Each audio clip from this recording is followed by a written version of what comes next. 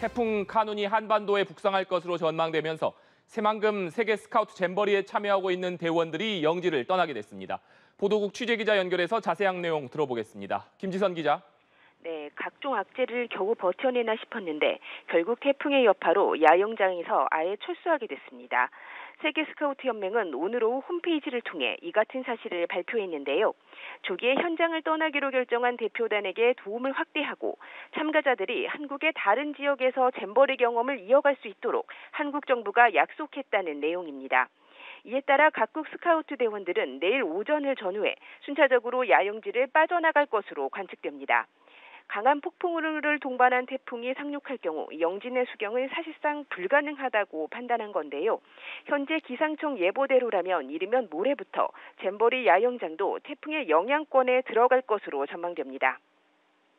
휴가 중인 윤석열 대통령은 오늘 참가자들의 안전 확보를 위한 contingency plan 점검에 들어갔는데요. 대원들의 숙소와 남은 일정이 서울을 비롯한 수도권으로 이동할 수 있음을 의미한다는 것이 대통령실의 설명입니다. 정부는 서울 시내 대학교 기숙사와 각종 기업 연수원, 체육관 등 구청에서 보유한 시설로 숙소 변경을 검토하고 있는 것으로 전해졌습니다. 조직위 역시 대원들을 대피시키기 위한 작업에 착수했는데요. 오늘 오전부터 전북도 내 대학 등의 최대 수용 인원을 문의했고 전북대, 우석대, 원광대, 군산대와 완주군이 준비 중인 것으로 전해졌습니다. 개신교 연합기관인 한국교회 총연합 또한 소속 교회의 시설을 숙박에 사용하도록 내어줄 예정입니다.